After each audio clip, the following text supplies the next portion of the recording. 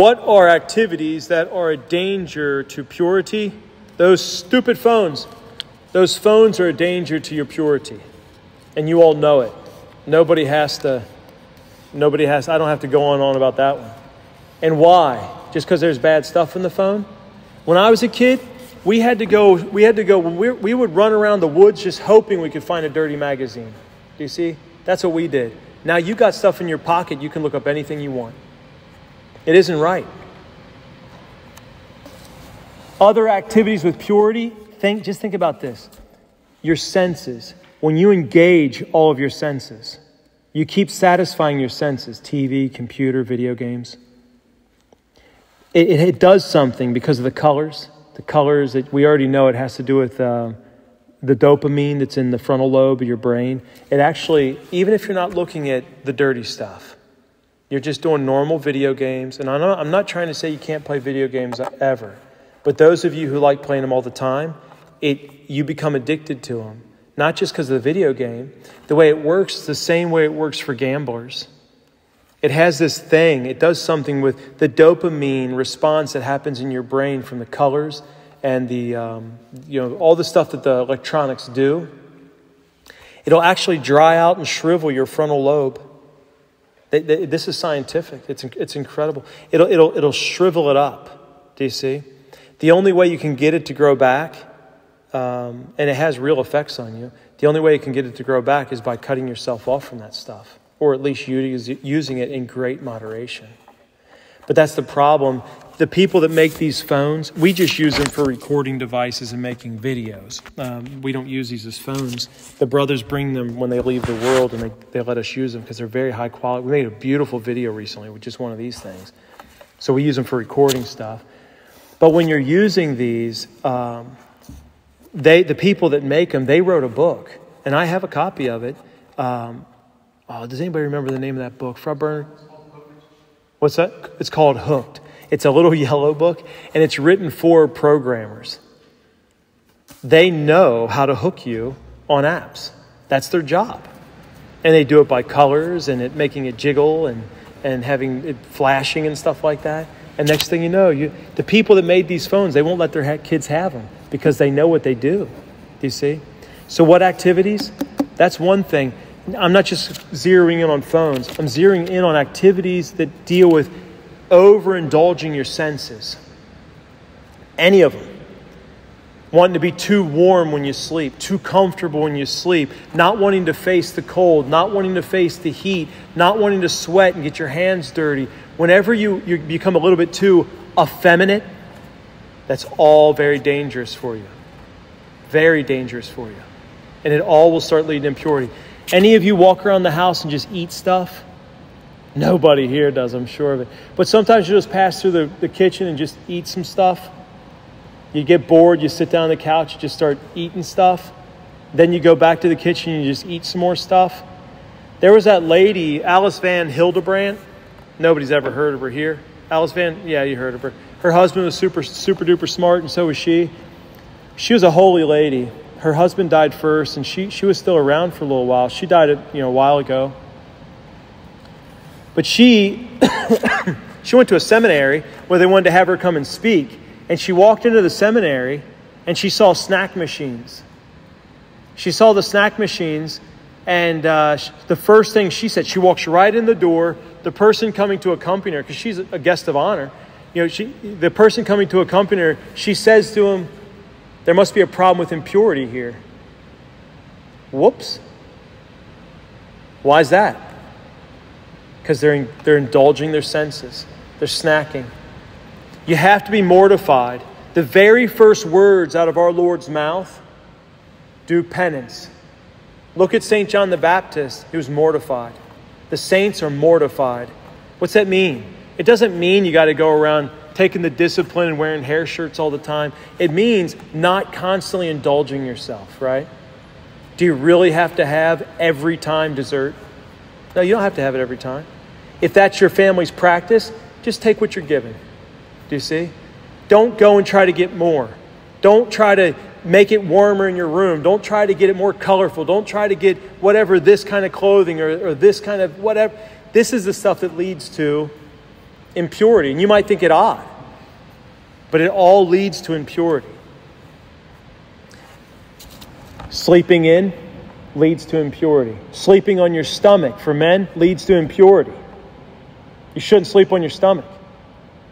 I know, I know it sounds crazy. You're going to say, this guy's a nutcase. No, no, that's, that's, they, they've been saying that. The saints have been saying that for years. Okay? Men have to be very particular, very cautious. You should never fall into impurity, ever. You see? Never. It's not okay.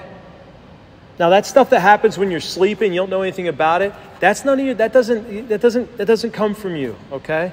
That stuff you just wake up and something happened. That's not. You, were asleep.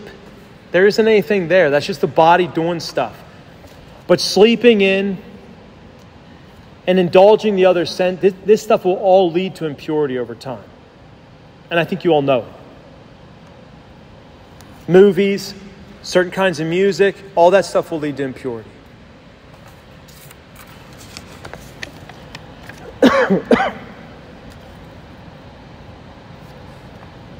and activities that can foster purity, mortification, but being busy. Don't sleep in. This is the thing set your alarm. I know some of you hate your alarm, but you'll be really happy when you get used to waking up to an alarm, or you'll get used to waking up and turning your alarm off before it goes off because you hate your alarm.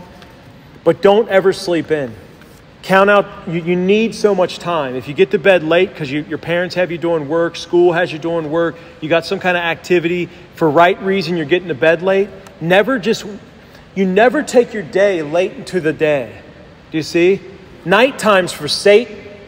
The day times when we work, our Lord talked about, it. he didn't say it was for Satan, but he said that the, in the day is when we walk. Night is coming when you can't do any more work. So go to bed. When it's nighttime, you go to bed, and in the morning you wake up. You shouldn't sleep during the day. Well, we take naps and stuff like that. You know what I mean? If you have to take a quick power nap, even the successful, they say 10 minute power nap. It'll be. So, activities for purity is being disciplined. And your father should be able to help you with that. You need discipline in your life. You don't have downtime. You shouldn't just be sitting there doing nothing. Have activities that you do. Make stuff, read stuff, study stuff. St. Ferdinand, you've heard of him? Ferdinand III. Who's heard of him? You all haven't heard of St. Ferdinand III, King of Castile? I really encourage you, you dads, get your sons this book. There's two of them. There's a red one, really is written a long time ago. Fantastic read. It's on St. Ferdinand III, King Castile. Then there's a white one that was written, I think, by somebody here in America. It's fantastic as well. They're both really great books. But he was a young man who was in court, meaning his dad was a king. He was going to be the king someday. And it was very licentious there. Lots of courtiers. They had nothing to do but kind of entertain and whatever. Lots of beautiful young ladies, lots of food, lots of wealth, lots of everything that you want. And what did he do? He studied. He got, he got up early in the morning and he prayed the office with the monks. He was always there for matins, lauds. He did vespers in the evening. He, he attended Mass every single day. This is while all this stuff's going on around him. His dad was upset with him because he wanted him just to be worldly like everybody else. But Ferdinand was a holy young man. And so he spent his time, his morning doing that. The rest of his time, what did he do? He was going to be king. And he knew it. So he had a duty. What was his duty?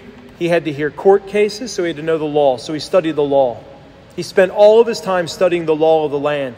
Now, back then, every region had its own law, so he had to study every region's law, and then he would he would he knew as king he'd have to travel and he would have to hear cases, right? As king, they would come straight to him. And what was the second one? He had to fight because their country had Muslims in it, and they wanted to get rid of the Muslims. Remember, the Muslims came in in the 400s. In the 400s, the Muslims took over Spain. And from that time on, they fought the Muslims until they got rid them of, uh, they rid Spain of Muslims, which didn't happen until the 1400s. But Ferdinand did the most to clear them out. He went to war with them constantly. So, what did he do before he was grown, when he was your age? How many of you were 17? I think he became king about 17. By that point in time, he was already a master with the sword. In fact, whenever he went into war, there was a time they were laying siege to. Did anybody remember the one where It's one of the, I, I forget, but anyways, they're laying siege to one of these. It, it was a very difficult thing. He never took off, he wore his armor in the middle of the sun. It's, it's like here in Texas. You can imagine sleeping in a field in the heat, wearing full armor for six months during the summer in Texas. That's what he did with a hair shirt underneath it. But when war would break out, like they attacked his Templar Knights, and he didn't hear about it until late, the Templar Knights were over there fighting. They were fighting for their lives for like, I don't know, it was like six or eight hours until Ferdinand finally found out about it. And when he heard about it, he got on his horse and he rode over there in a rage. It was a holy rage. But he gets over there, he sees them all. He's got a crown on his head. You always want to kill the king. And what's Ferdinand do? He jumped his horse right into the thick of the battle. And they said that he swung his sword so fast, you only saw people falling down. And in the end, there were, everyone was wounded. Everyone was bloody and wounded. All the Muslims were gone now. The, the Templars, tons of, he, he, Ferdinand helped bury them all. And one of, the, one of the soldiers, one of the knights came over to him and they saw his shirt was all ripped and he had blood all over him. And like, oh no, Ferdinand got, and it wasn't his blood. Ferdinand never once got injured in battle. And he was always the first one in, in the most difficult circumstances and he was the most skilled knight out of all of them. Why? Because when he didn't have anything else to do, he would wield a sword with himself. He would just be out there working the sword. He said his arms were so big, his one arm for the sword, it was so big, he just had this massive arm. Because he could just wield the sword for hours on end fighting Muslims. Do you see? That's how you that's how you that's how you protect yourself from he never fell into impurity. Do you know when it came time for him to get married? All the, all the greatest noble ladies of the land would have loved to have been married to Ferdinand. He was holy. He was holy. He was good looking. He was capable. Do you see? And he never once thought anything about it. Finally, his mother, she's, she's a very holy third order herself. She, Ferdinand was a third order Franciscan. His mother came to him and just said, Son, you should take a wife. And he said, he didn't have it, he just, he didn't think about it. He only thought about ruling his country, fighting the Muslims, uh, and, and hearing cases. That's all he thought about doing. And he just said, whatever you think. So she found him a wife and he just married her. They lived a very chaste, beautiful marriage. They had like, I don't know how many kids they had. It was like 10 kids, 12 kids. But he had no interest in even getting married. But when he did enter into marriage for the good of the kingdom, he lived a very chaste, holy marriage. He was chaste before he got married. He was chaste when he was married. And then when his wife, he had two wives, because then his, his mother came to him a second time after his first wife died, who he said was a saint. He thought his wife was a saint. She probably was. Then he got his second wife that his mother went, found, and brought back, and he just again said, I'll do whatever you want, mother. But he didn't look for a spouse. And then he entered into a holy marriage with her. She too, extremely holy woman. Do you see? He prepared for these things. He spent his time preparing to live his life. To sit around wasting time is an offense to God, and that's why he'll let you fall into impurity. Do you see? So, to have good, holy activities always, you should always be busy. One word I don't like is to relax. I don't like the word relax. Leisure Holy leisure is important. Rest is important. You should rest when you need rest. You should recreate in wholesome recreation when you need wholesome recreation. You should exercise. Young men should exercise. You should have a strong body. You should make sure you have a strong body. But you should never just sit around and do nothing.